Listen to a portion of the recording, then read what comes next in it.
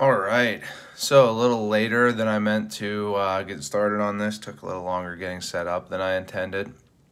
And also I'm not 100% set up the way I wanted, but um, I wanted to do this live just because I think it's fun to do uh, unboxings in particular live um, because it's kind of in the in the spirit of what an unboxing is about, right?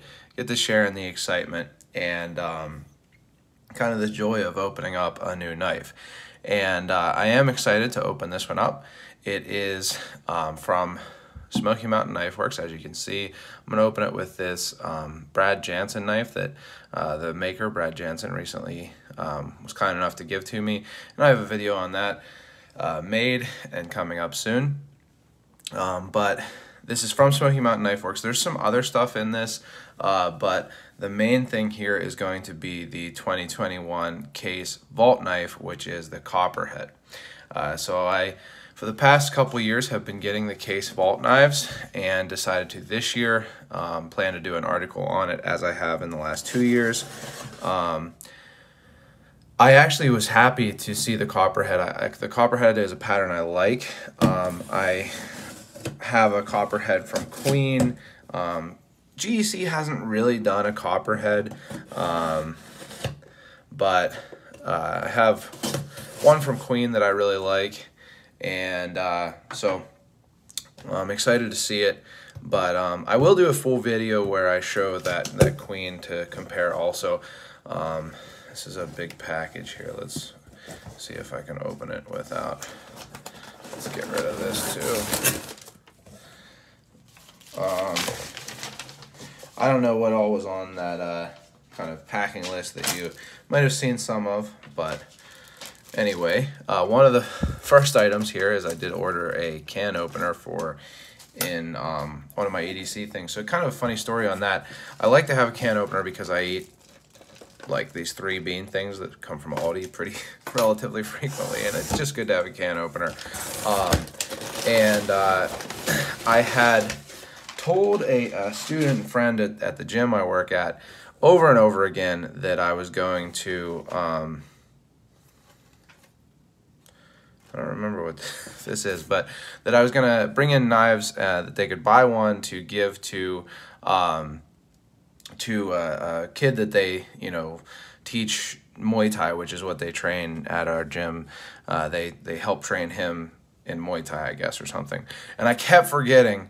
And so the, the day he was actually going to see that that kid, I just gave him uh, the SOG Power Pint that I had in my bag to give to to the kid. So I didn't have a can opener in my EDC anymore. But so we've got a couple things here. Uh, these are a gift for my wife. She really likes these Victorinox paring knives. Um, you know, we have other kitchen knives that, you know, maybe are fancier or more expensive. These are only like $5 each or something. Um, but she prefers these. She particularly prefers the serrated ones. Uh, so I wanted to get one of the um, sheep foot to see how she liked that blade shape. And then this is the longer one, the four inch one. I also was considering having my uh, friend um, Tom, who does uh, Dark Star gear sheaths and holsters, to make uh, a sheath for, for one of these. Um, I think it'd be a cool knife to carry horizontally, but you know, I don't know how much you want to see these. Everybody's probably seen these, but real, real thin, you know, work really well as kitchen knives, and honestly, good utility knives also. Uh, free pocket sharpener. Um, these are good gifts. A lot of people like using these um, X style uh, pocket sharpeners. Uh, my dad uses them a lot, and so it comes free. And this one is something that I was looking forward to. It was really inexpensive. It was like six dollars or something, six dollars and fifty cents. But it's a knife display easel, um, and I'm gonna take the box out of the way here and just put the actual items. Oh. Whoops. There we go. Sorry about that. Um, but here is this knife display easel. And uh, it's bigger than I was expecting, which is actually good. I'm glad that it's bigger than I was expecting. Um, but you set it, you set it like that, and you can put, you know, knives on there. A little bit of, uh, you you know, for six bucks, I guess you can't really complain. But um, yeah, one, two, three, four knives you can fit on there. So that's a cool one. I, uh, I, you know, I was just thinking, I was just talking with my wife last night. I'm kind of in one of those places where it feels ridiculous how many knives I have, especially that I don't use them. Um, so, oh, this is the one I'm excited about. I remembered what this is, uh, and the case we'll get to last. But um, it feels ridiculous having knives that just sit in their tubes, you know. Um, and don't get used, don't even really get looked at that often, and it just feels completely ridiculous to me. Uh, I have never gotten over, I've never become a true collector in that I feel comfortable with that. Um, and so she said, well, why don't you get more displays? And I had actually already ordered that display. Um, but that's true, if you're displaying them, at least they're being displayed. Um, but this is one that I was looking forward to. I'm surprised that it has the uh, RI spelling instead of the RY spelling because this is a newer knife from Rough Ryder, the Rough Ryder 1817. And this is a modern slip joint from Rough Ryder. So people have been asking me to do uh, videos on modern slip joints and uh, I just don't really like want to spend the money that a lot of them are. Um, you know, a lot of them are relatively expensive, more expensive than GECs and, you know, not as you know easy to resell if you don't end up liking it. But this one was like eight dollars so that's a pretty you know easy pill to swallow. Um, 440A steel. Oh it is openable with one hand. That was in the video that smoky mountain knife works did andy from smoky mountain knife works. He does open it with one hand and i was really hoping that i could get it open with one hand and as you can see very much you can. This is nice. I can't believe like rough ryder you know they're they're they're not the fanciest knives for sure, but man, they, they make it hard to spend, you know, 150 $200 on a uh, modern, you know, slip joint knife. Um, I considered getting the Civivi Fracture uh, that, to compare to this, but man, it does have a half stop. I don't think it needs the half stop. I think it would probably be better without it, but oh, and it has a blade stop pin in there. Wow. I just like, Rough Ryder is, you know, people, I think sometimes people get irritated that I do so many videos on Rough Rider, but they're killing it. I mean, wow. I don't know. I, I think that, look at that. Easy to open with one hand, even with that half stop, which again, I think is unnecessary. Nice action. Man, grab one of those if you want a modern slip joint, I'll tell you what. And now we can get to probably what most people are interested in here, the case. I don't buy a lot of case knives because I just haven't had a whole lot of really great experiences recently. But this is the uh, Copperhead in yellow synthetic smooth. Uh, it's kind of a weird way to write that. But anyway, it's in CV. Another thing, I'm, I'm not huge on cases steel, either CV or their stainless steel. I mean, they're okay, but they're not my preference. Um, but anyway, let's take a look at it. So, uh, the funny thing is, I, I, can't remember exactly, but I think my grandpa has one of these, and it, you know, obviously is, is older because they haven't made them in a while. But so, first impression, it's a little bigger than I recall, which is not a bad thing. I like a good sized knife. Second impression, uh, the blades are well centered enough. Um, neither seem to be rubbing, which sometimes case knives do, and they don't just move back and forth which is another thing I've had case knives do. Um, I bought one of the case Barlow's, the 2019 vault knife, and the blade just like just moved back and forth. Um, did someone just say that the, it's gross that it's at 720p? um, wow. Uh, sorry. Stop watching. um, I uh, I didn't even realize I had it set to that. I usually have my videos in HD or 4K, but the live maybe isn't in, in that. So yeah, if you don't like the 720, it's okay. You can stop watching. Um, let's look at the covers. They seem fit well enough. Um, no cracks in the pins.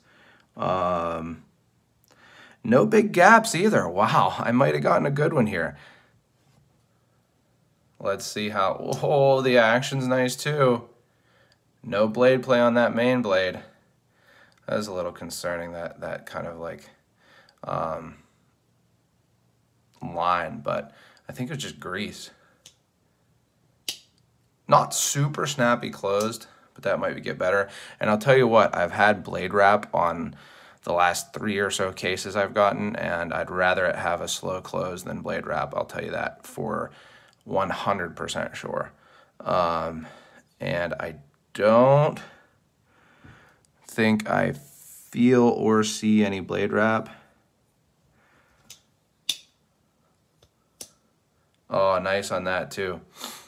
Um, I don't know if they knew it was going to me. I, am not sure, but um, honestly, I you know, I didn't make any notes in the in the um, uh, order or anything. The last time I mentioned that I did that, people acted like it was like, oh, my reviews don't count anymore because I said that I was going to make a video on the knife.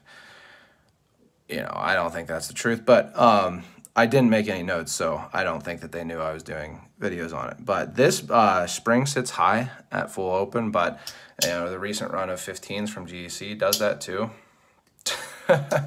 yeah, you should do that. Tell every everybody who buys knives, tell the distributors that, that you're me.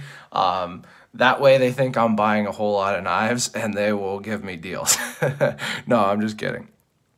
Um, this this spring isn't really high at, at full open, but they both have half stops. And here's another really big thing that that I'm really happy with on this knife. This is gonna go right in my pocket. I'll tell you what. Um, neither of these blades are anywhere close to um, any. That's that's funny. The martialist. Um, neither of these blades are anywhere close to having proud tips. Like not even close. So really happy with that. I got to tell you, I'm happy with this knife. Um, I'm looking forward to carrying this one. It's going to go right in my pocket. I'm going to put it right to use. Now, as always, um, the uh, shield on case knives are not pinned, which is a bummer. I haven't had one fall out on a case knife yet, although I have um, some not older knives that the, are miss, missing the shields, uh, but not from a recent case knife.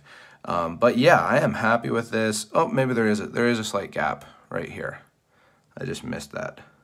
Um, so yeah, there is a gap here. But to be honest, that's kind of the only issue, which is a big surprise to me. Um, so yeah, I don't know if you can hear it in my voice, but the more I look at this, the more happy I am with it. Even even with that gap, um,